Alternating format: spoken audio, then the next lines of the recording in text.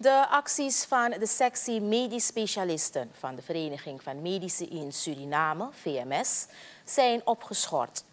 Hiertoe is besloten na een vruchtbaar overleg gisteravond met het cluster ministersteam, voortgezeten door minister Albert Ramdien. Volks, van Volksgezondheid minister Amar Ram, Ramadien heeft in gesprek met onze nieuwsdienst aan dat op de vraag van de regering de VMS tijdelijk heeft afgezien van haar actiemodel. De sectie ging afgelopen maandag in actie voor onder andere het uitblijven van een tariefsaanpassing. De bewindsman zegt dat de regering drukdoende is te zoeken naar een oplossing voor deze groep van dienstverleners. Dus uh, er zijn op dit moment, as we speak, uh, worden er wat exercities uitgevoerd. En uh, kijk, wordt vooral getoetst op de haalbaarheid, maar ook uh, rekening houden met verschillende aspecten. En in dat kader wil ik verder niet veel uitweiden.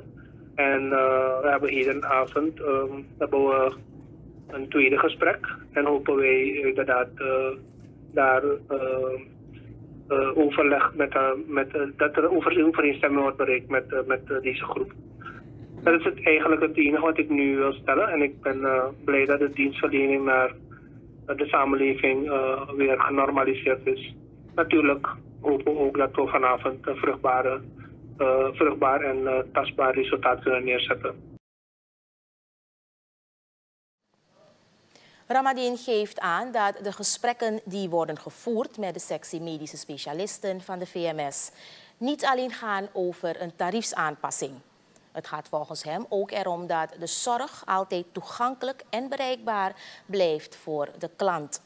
Ook is er gesproken over de verbetering van de kwaliteit van de zorg.